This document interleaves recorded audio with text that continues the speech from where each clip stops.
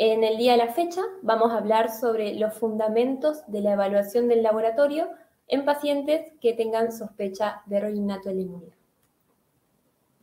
Como pregunta disparadora y para iniciar esta charla, en la que supongo habrá colegas inmunólogos y colegas de otras especialidades, se me ocurre preguntarles qué situación les parece que motiva la consulta con un especialista en inmunología. ¿Ustedes creen que habría que hacer la consulta con un especialista cuando existan infecciones severas a repetición o con gérmenes oportunistas o gérmenes con baja virulencia? ¿Ustedes creen que la linfoproliferación crónica de etiología incierta, es decir, no oncológica, no infectológica, motivaría la consulta? Algunos tipos de cánceres. ¿Ustedes creen que la autoinmunidad múltiple es una causa de consulta al inmunólogo? La enfermedad inflamatoria intestinal en menores de 6 años o con mala respuesta al tratamiento, los fallos medulares con ciertas características sindrómicas, o ustedes creen que todas las anteriores son motivos para derivación al especialista. Sin demorarnos mucho, eh, voy a revelar la respuesta y la respuesta es que todas las anteriores son respuestas correctas. Un poco esta diapositiva de inicio tiene como objeto desterrar el mito al respecto de que los errores innatos son solo infecciones. Eh, las vías involucradas en las inmunodeficiencias primarias eh, involucran muchos efectores que involucran muchos síntomas, con un espectro bastante amplio, como veremos. Existe un comité de expertos internacional que se encarga de reunirse cada dos años y valorar cuáles son los nuevos genes descritos en errores innatos de la inmunidad. La última vez que se reunieron, en el año 2022, describieron la existencia de 485 genes y agregaron 55 genes nuevos con respecto al anterior encuentro que habría sido en el 2020. Imagínense lo vertiginoso que es el devenir en la evolución de la inmunología humana, que en el año 2000 solo había descrito cerca de 200 genes. Este grupo de estudio intenta agrupar los 485 genes en distintas tablas conforme la característica predominante. Así existen 10 tablas con errores innatos de la inmunidad. Una que contempla inmunodeficiencias que afectan al T y al B, otra contempla no solo T y B, sino ciertas características sindrómicas asociadas. Otra tabla habla sobre la inmunodeficiencia que afecta específicamente a la célula B. Hay otra de desregulación inmune, defectos en el fagocito, defectos en la inmunidad innata, síndromes autoinflamatorios, deficiencias de complemento, fallo de médula. Y la última es sobre fenocopias en los errores innatos de la inmunidad. Una vez que ustedes ya han decidido que el paciente es candidato a una primera consulta con el inmunólogo, es importante en primera instancia conocer el sexo. Hay muchísimas patologías eh, en errores innatos de la inmunidad vinculadas al, ligadas al X, la edad del inicio de los síntomas, la presencia de los síntomas predominantes. Es importante en la consulta contar con el carnet de vacunas, es importante saber si el paciente ha tolerado bien las vacunas, es decir, si ha desarrollado, por ejemplo, o no BCG BCGitis o BCGosis, si lo tiene completo, en la ausencia de las vacunas podría justificar un, compromiso eh, severo, una, una, infección diseminada severa. Y también es de importantísimo conocimiento hablar sobre los antecedentes familiares y preguntar sin pudor acerca de la posibilidad de consanguinidad. Existen muchísimas patologías vinculadas a una herencia de tipo autosómica recesiva. Y otro conocimiento es preguntar si existe en la familia alguna otra persona más que tenga síntomas parecidos a los que motivan la consulta de nuestro paciente.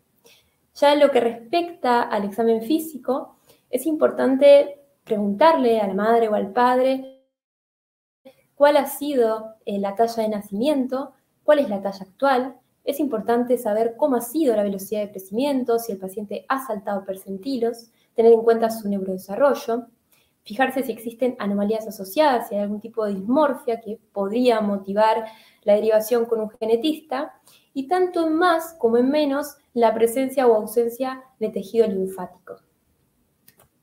Luego de este primer encuentro del inmunólogo con el paciente, la difícil tarea del inmunólogo es intentar discernir si la afectación del paciente involucra más a los efectores de la inmunidad eh, adaptativa o de la inmunidad innata. Veremos que esto, que parece en un dibujito bastante sencillo, no lo es tanto en la práctica. Acá yo hice un cuadrito con las, las preguntas o con las eh, consultas más frecuentes que se ven tanto en el hospital como en la consulta privada y cuáles son los efectores que podrían llegar a estar comprometidos. Por ejemplo, las infecciones bacterianas graves o recurrentes comprometen o puede estar dañado el linfocito T, pero además puede tener un compromiso de los anticuerpos, de los granulocitos, especialmente cuando se trata de bacterias catalasa positivas. Puede haber también deficiencia en el complemento, las infecciones micobacterianas sistémicas por excelencia eh, como daño en el efector T, pero no solamente en el T. Por hablar solamente de una vía innata involucrada, podemos hablar de la vía interleuquina 12, interferón gamma. Cuando tenemos infecciones víricas recurrentes o graves, es el efector T, uno de los cuales uno podría pensar como dañado, pero no es el único. Existe también la posibilidad de deficiencia de anticuerpos, de granulocito, alteraciones en las células NK, que aunque poco frecuentes, también deben pensarse. En caso de infecciones micóticas invasivas, uno a la cabeza tendería a pensar en deficiencias T o deficiencias en el granulocito. Las infecciones oportunistas tenemos como efector al linfocito T y también deficiencia de granulocitos. Retraso del desarrollo, pensamos en el T, en los anticuerpos, en los granulocitos. Autoinmunidad, hay muchos efectores involucrados. T, anticuerpo, granulocito, complemento. Y en lo que respecta al linfoma, por un lado, el defecto en la función en más, alteración en la homeostasis de los linfocitos T, por mencionar LRBA o CTLA4, y la deficiencia de anticuerpos también puede generar linfoma, específicamente aquellos eh, errores innatos que involucren una inmunodeficiencia como un variable. Así que veremos que no es tan sencillo como parece en el anterior dibujito. Las primeras determinaciones que uno intenta solicitar para el diagnóstico son las más sencillas, intenta desde, lo más sencillo hasta lo más complejo. Lo más sencillo, que además se encuentra disponible en prácticamente casi todos los centros, es un hemograma que debería incluir la fórmula leucocitaria y también las plaquetas. El hemograma nos dará información muy, valiosa. Eh, la presencia de neutrofilia nos hará pensar en deficiencia de la adhesión leucocitaria la presencia de neutropenia eh, nos puede hacer pensar si es neutropenia congénita en alteraciones en el ANE, o si el paciente asocia hipoalbinismo, pensar en la presencia de hipereosinofilia, por hablar de enfermedades alérgicas, que si asocian eczema e infecciones bacterianas, uno podría pensar en STAT3-LOV, o si tiene una inmunodeficiencia combinada en DOC8, CAR11, eh, la presencia de plaquetopenia con microplaquetas en un paciente varón con infecciones bacterianas es muy sugestivo de Wiskott-Aldrich. Y la joya de la corona para los inmunólogos son los linfocitos, la presencia de linfopenia, eh, definida en adultos como un recuento menor a 3.000 linfocitos totales y en pediátricos eh, un recuento, perdón, al revés, quise decir, en, pediátricos un recuento menor a 3.000, en adultos un recuento menor a 1.000, eso es un signo de alarma, eso es linfopenia. Antes de activar todas las alarmas, el inmunólogo debe descartar causas secundarias de linfopenia, es decir, un adulto que tiene menos de 1.000 linfos, un pediátrico que tiene menos de 3.000 linfos. Como causas secundarias, a la cabeza infecciones virales y a la cabeza pensar en HIV. Recordemos que en menores de 18 meses los test tienen que hacerse con métodos directos y esto tiene que ver con la presencia de anticuerpos eh, positivos que podrían tener pasaje transplacentario y ser falsos positivos. Eh, además, uno tiene que pensar en la posibilidad de pérdida linfocitaria a través de defectos cardíacos, terceros espacios, eh, linfaquiectasias intestinales, perdón, eh, esas son causas secundarias. También algunas eh, medicaciones como la timoglobulina o los corticoides. Ya antes de adentrarnos en el mundo de más específicos o de aquellos laboratorios que son de expertise del inmunólogo, voy a hablar de una herramienta que es muy utilizada eh, por el inmunólogo, también por el oncohematólogo, que es la citometría de flujo. La citometría de flujo se desarrolló alrededor de los años 80 y esto tuvo que ver con el devenir de la pandemia HIV-Sida, y es que existía una necesidad clínica de desarrollar una técnica que pudiera de alguna forma cuantificar los linfocitos TCE4. Actualmente, eh, la citometría de flujo se utiliza para identificar a través de antígenos linfocíticos de superficie seleccionados para el inmunofenotipado subgrupos celulares, linajes celulares y estadios de diferenciación celular.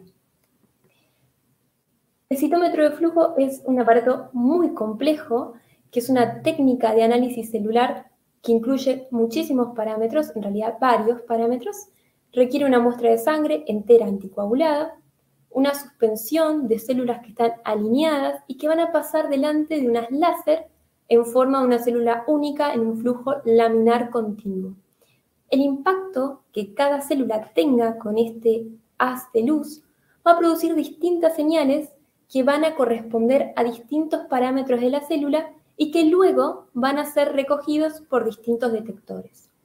Además, estas células están marcadas con anticuerpos monoclonales específicos contra antígenos linfocíticos que se encuentran conjugados además con sondas fluorescentes, tomando un fluorocromo. Esto va a permitir que emiten fluorescencia al ser excitadas por este haz de luz láser. Estos parámetros se van a medir todos en forma simultánea y por cada una de las células. Los parámetros que se van a medir es la dispersión frontal de la luz, que es un valor proporcional al tamaño de la célula, la dispersión lateral de la luz, que es un proporcional a la cantidad de estructuras granulares, a la complejidad de la célula, y por otro lado las intensidades de fluorescencia a través de distintas eh, longitudes de onda. Está formado el citómetro de flujo por una fuente de luz, un sistema óptico que enfoca el láser en un haz con el diámetro más pequeño eh, para poder impactar sobre el menor número de partículas posibles, un sistema electrónico que cuantificará los destellos de fluorescencia y de la luz dispersada, transformando esas señales de fluorescencia en datos electrónicos. Finalmente, un ordenador que permite almacenar todos los datos de muchísimas células por cada muestra y representa los resultados gráficamente. Luego se hace el gating, que es la selección de poblaciones, que para poder seleccionarlas se va a valer de la dispersión frontal, lateral y de los anticuerpos específicos del linaje. Bueno, habiendo explicado esta técnica, que es un poco compleja, pero el mejor amigo del inmunólogo, vamos a hablar específicamente ya de estudios del inmunólogo. La primera que voy a charlar es acerca de las determinaciones que utilizamos para valorar lo que se conoce como la inmunidad celular, es decir, la inmunidad mediada por la célula T. Lo primero que hacemos es la inmunomarcación de fenotipo celular a través del citómetro de flujo, y esto es una valoración cuantitativa.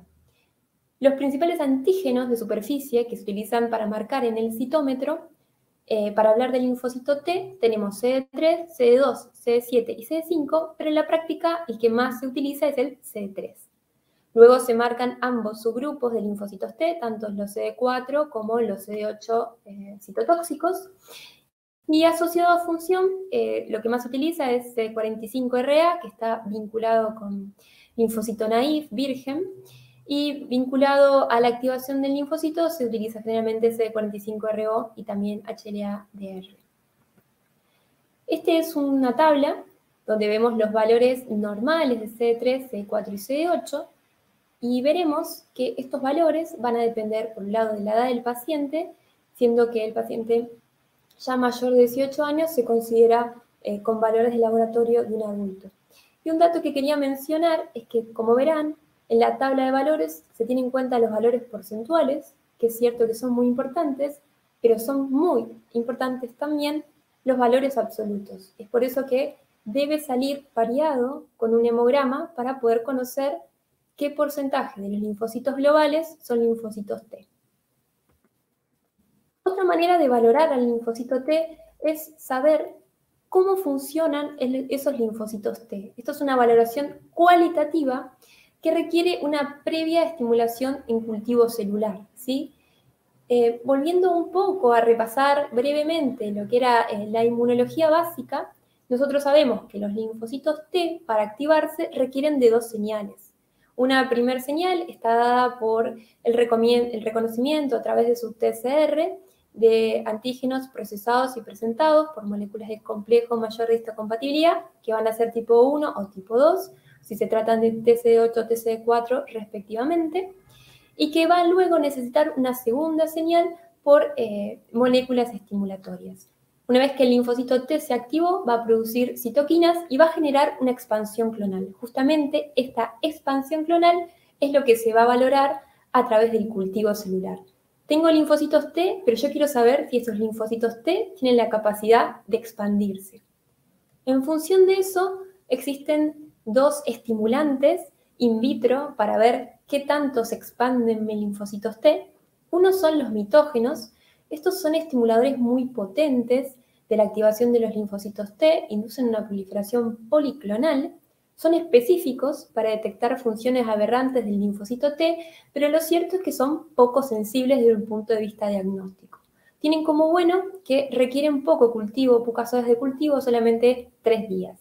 Los más utilizados son PHMA, PMA o KT3 o anti-CD3, los superantígenos y la interleuquina 2, que recordemos que la interleuquina 2 es una citoquina de tipo 1 que actúa sobre receptores con cadena gamma común y que son muy proliferantes o hacen proliferar mucho a los linfocitos eh, T in vitro. Acá vemos dónde actúan, vemos que los superantígenos, el AKT3 y PHA actúan sobre la superficie celular, distinto a PMA y la ionomicina que actúan a nivel intracelular. El otro tipo de estímulo es un estímulo fisiológico, entre comillas, más fisiológico, que son los antígenos, ¿sí? son más sensibles desde el punto de vista diagnóstico y van a ocasionar la proliferación únicamente de células que ya hayan tenido contacto con ese antígeno en la vida real, por decirlo de alguna forma, ¿sí? Estos solamente van a hacer que proliferen de memoria. Los antígenos solo contactan con el TCR y requieren un cultivo más prolongado en el tiempo. Siete días de cultivo, más o menos. Los ejemplos más utilizados como antígenos son cándida, y esto tiene que ver con la exposición natural que suele tener la mayoría de la población a cándida, y también antitoxoide tetánico y PPD, y esto tiene que ver con la consecuencia de la vacunación que tiene la mayoría de la población. La forma de cuantificar esta proliferación, existen groseramente dos formas o frecuentemente dos formas, una cuantifica la proliferación teniendo en cuenta la incorporación en el ADN de las células en división de timidina tritiada, esto es un nucleócido radiactivo, que hace su lectura en un contador beta, que es un contador de centelleo, y el resultado se expresa en cuentas por millón. Acá esto es un, un ejemplo con los valores que son los valores esperables normales de mitógenos y antígenos. La otra forma de cuantificar la proliferación es por citometría de flujo a través de incorporación de colorantes fluorescentes. Se usa un análogo de la timidina que se llama 5-etinil-2-desoxiuridina, eh, su, resumen es decirle EDU, que se asocia con una ácida fluorescente, hace una reacción de ciclo-adición catalizada por cobre y finalmente se añade al ADN de las células en división. Esta técnica, a diferencia de la anterior, no usa radioactividad y es una de las preferidas. Una mención aparte, me parece que vale la pena mencionar esto, es el screening para detectar las inmunodeficiencias combinadas severas por medio de la cuantificación por PCR de los TREX. Recordemos que las inmunodeficiencias combinadas severas es una urgencia inmunológica y es importante tener metodologías de diagnóstico precoz. En, la Argentina no están, disponibles, pero sí en muchísimos países de Europa. ¿En qué se basa esta técnica de medición de TREX? Bueno, no sé si recuerdan, pero durante la ontogenia precoz eh, de las células T que sucede en el timo, se produce el reordenamiento de los genes B de J en lo que se llama eh, hipermutación somática, con el objeto de generar diversidad en el TCR. En cada reordenamiento, los segmentos de ADN entre los genes B y J que no se incluyen se descartan y forman una asa circular de decisión de reordenamiento del receptor de células T, que se llama TREC. Esta técnica o estos TREC que se descartan nos permiten inferir de cierta manera la timopoiesis, es decir, la producción tímica de inmigrantes recientes. Y tiene mucho valor cuando, por ejemplo, sabemos que una madre está embarazada de, un niño y sabemos que en la familia hay otro paciente SCID, tiene un hermanito SCID. Entonces, detectarlo cuanto antes permite eh, aislarlo y hacer todas las medidas pertinentes a un paciente con una inmunodeficiencia combinada severa, con el objeto de trasplantarlo cuanto antes. Ya yendo a las determinaciones que permiten valorar a la inmunidad humoral, lo primero que hacemos es constatar la presencia de las células B en sangre periférica usando citometría de flujo con la inmunomarcación. Lo que se utiliza para marcar a las células B son los CD19 y los CD20. Recordemos que también importa eh, el valor porcentual, pero no olvidemos lo importante del valor absoluto. Acá pongo valores absolutos y porcentuales. Eh, conforme la edad del paciente. Algo también importante a medir es el dosaje de inmunoglobulinas, tanto A, G, M como E, que también va a depender de la edad del paciente. En caso de hipogamaglobulinemia es importantísimo descartar causas secundarias, ¿sí? Pensar en la posibilidad de pérdida, cuando tenemos grandes quemados, diarreas profusas, em, insuficiencia renal. Entonces vamos a solicitar un proteinograma con fracción gamma la alfa-1 antitripsina, esto cuando pensamos que puede haber pérdidas a través de materia fecal, y orina de 24 horas para valorar posible proteinuria. También tener en cuenta que algunos fármacos pueden generar eh, la disminución en las inmunoglobulinas, como la penicilina, la carbamazepina, algunos los corticoides también. Y tener en cuenta que en todo paciente que haya nacido de término, que tenga menos de 6 meses, la IgG es materna, recordemos que la IgG es la única inmunoglobulina que tiene pasaje transplacentario, entonces no, tendría mucho valor diagnóstico pedirle IgG a un menor de 6 meses porque uno tendería a creer que es materna. Otra manera de valorar el B es tener en cuenta el título de anticuerpos naturales, es decir, las isohemoglutininas. Las isomaglutininas son anticuerpos de tipo IgM que están dirigidos contra los antígenos A y B de los eritrocitos. Este tipo de anticuerpos está producido por un tipo específico de linfocito que se llama linfocito B1. Los linfocitos B1 son las primeras células que se generan en el desarrollo embrionario a través del hígado fetal y durante la vida extrauterina se siguen generando en médula ósea están en poca cantidad en sangre periférica y en órganos linfáticos secundarios, a diferencia de los B2, y estos prevalecen en cavidades peritoneal y pleural gracias a la migración y al homing que hacen a través de CXCL13. Pueden autorrenovarse, pueden expandirse sin necesidad de contactar con los antígenos y se van a diferenciar a plasmocitos de vida media corta, no, no generan memoria inmunológica.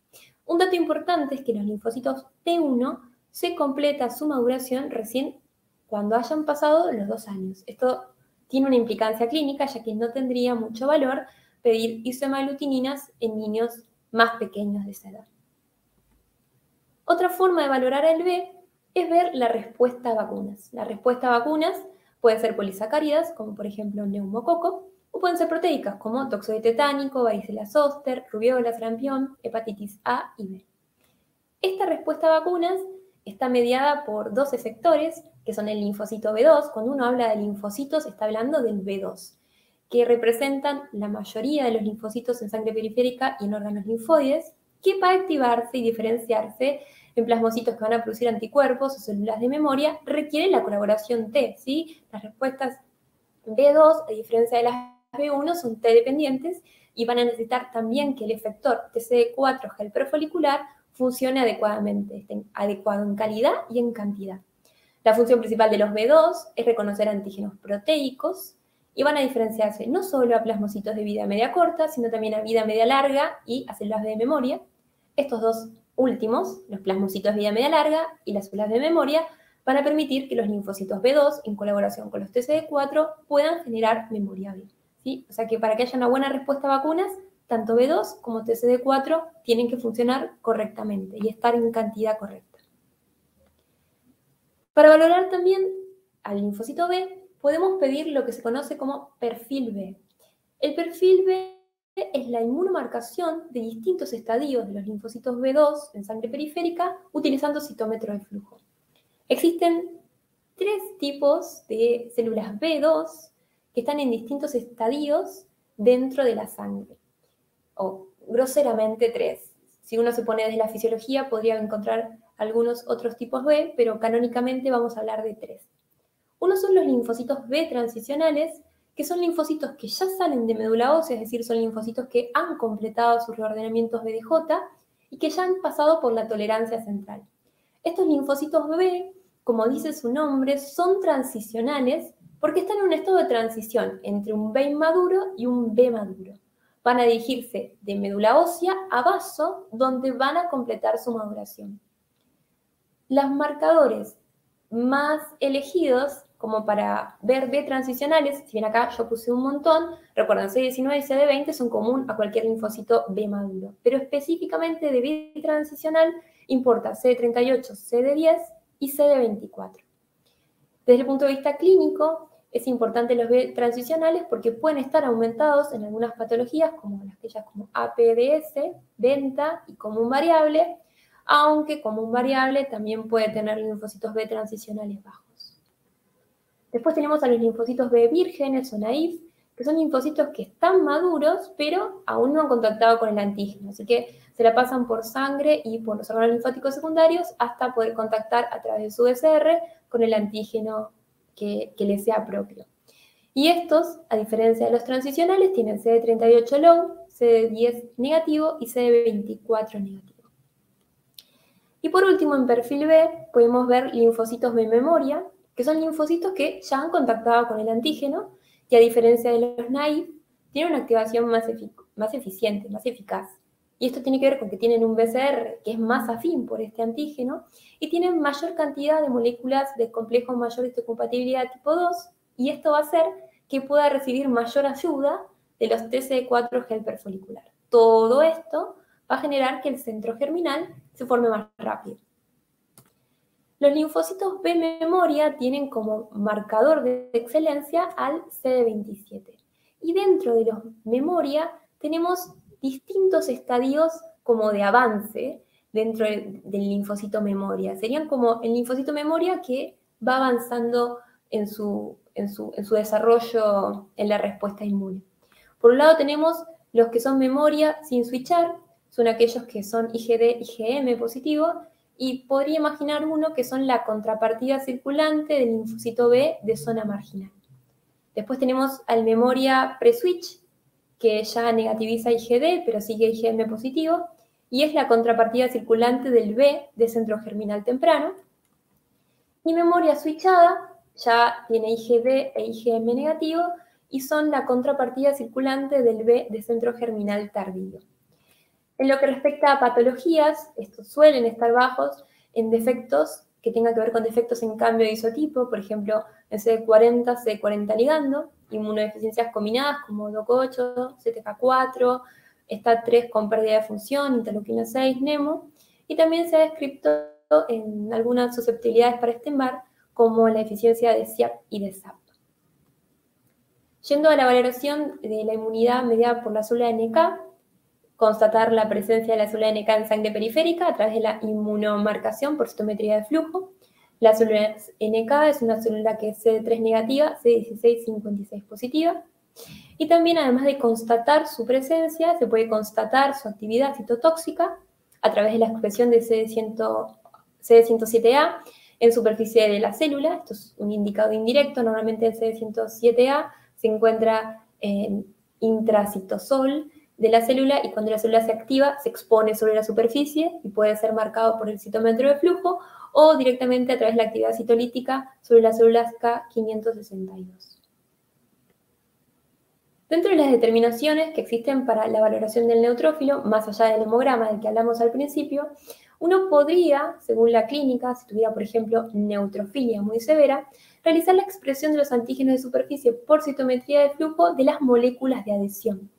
Existe una patología muy específica y la verdad poco frecuente que se llama LAT por sus siglas que significan déficit de adhesión leucocitaria. Y la característica sobresaliente es que hay una deficiencia en la adherencia del, neutrófilo y por ende no puede migrar y hacer su acción eh, anti, de inflamación. Y como característica entonces hay mucho neutrófilo en la sangre periférica que no puede llegar al tejido afectado.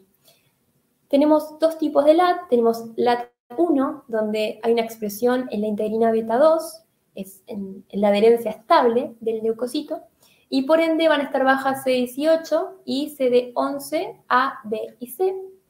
Y LAT2 es un defecto en realidad en la molecular, es un defecto en la vía de, que sintetiza GDP fucosa a partir de GDP manosa y generalmente va a producir una deficiente producción en la L-selectina. Entonces no va a poder hacer este rolling, este despegamiento. Y lo que se va a ver en citómetro de flujo es que va a tener un anti-CD15A baja. Una característica además de la neutrofilia es que suelen tener una onfalorexis, es decir, una caída del cordón tardía, y tienen abscesos fríos. También a través de estudios eh, funcionales podemos valorar los mecanismos microbicidas dependientes del oxígeno del fagocito. Esto se utiliza mucho cuando se sospecha enfermedad granulomatosa crónica y es la prueba de reducción de nitroazul de tetrasolio, la prueba de dihidrorodamina a través de citometría de flujo o la quimioluminiscencia. Yendo a la valoración del complemento, se puede hacer el dosaje de componentes de la vía del complemento C3 y C4 a través de nefelometría o a través de inmunodifusión radial, C1Q, C2, factor B, factor D, factor I, H, properdina y también C1 inhibidor. Y también existe la posibilidad de la evaluación de la funcionalidad del complemento. La manera de evaluar a la vía clásica se llama CH50. Esto lo que hace es evaluar la capacidad del suero del paciente, que se supone contiene todos los factores de complemento de la vía clásica para alisar glóbulos rojos del carnero. En un primer momento lo que se hace es, se expone los glóbulos rojos del carnero a la hemolicina. La hemolicina es un anticuerpo contra el glóbulo rojo del carnero que es de tipo IgM y esta hemolicina se va a adherir a la superficie del glóbulo rojo. En un segundo tiempo se agrega al suero del paciente y los factores de complemento del suero del paciente deberían unirse a la hemolicina del glóbulo rojo del carnero y generar su lisis. Acá vemos el sistema de reacción que está constituido entonces por los glóbulos rojos del carnero sensibilizados, un buffer que estabiliza y el suero de nuestro paciente. Y existen distintas diluciones con el objetivo de que haya distintas concentraciones. Y acá vemos el sistema de reacción donde se incuba a 37 grados Celsius, que es la temperatura corporal, durante 30 minutos y luego se centrifuga. Y acá vemos de menos en más, conforme el color, la hemólisis. Esto se expone a un espectrofotómetro, que es un aparato que esencialmente mide la densidad óptica de cada tubo, y esto va a ser una curva. Y se llama CH50 a la dilución del suero que lisa el 50% de los glóbulos rojos. El valor normal ronda entre los 200 y los 800 eh, perdón, 200 y 300 unidades por mililitro. Y también se puede evaluar la vía alterna a través de AP50. Para valorar la vía alterna, eh, lo que se hace es bloquearse la vía clásica, porque recordemos que siempre que activamos la vía clásica se activa la vía alterna, entonces se tapona la vía clásica para asegurarse que se esté valorando solo la vía alterna. La manera de taponar a la vía clásica es utilizar glóbulos rojos no sensibilizados, glóbulos con bajo contenido ácido ciálico y un medio químico que se llama ECTA. Eh, básicamente la prueba es muy parecida, pero con la diferencia es que AP50 utiliza glóbulos rojos del conejo. Y ya por último, concluyendo eh, esta charla, los últimos estudios que, en complejidad que se solicitan son estudios genómicos que van a ser quien finalmente ponga el nombre y apellido a, la, a la etiología, a la enfermedad que estamos sospechando. Existen en complejidad tres tipos de estudios a solicitar. Sanger es la secuenciación de un único gen y es de gran utilidad cuando uno tiene una fuerte sospecha diagnóstica que está orientado a un gen determinado. Supónganse, tenemos un varón a gamma glulinémico. Entonces, uno solicita un Sanger BTK. O también es de gran utilidad cuando queremos hacer segregación familiar de una variante que ya conocemos.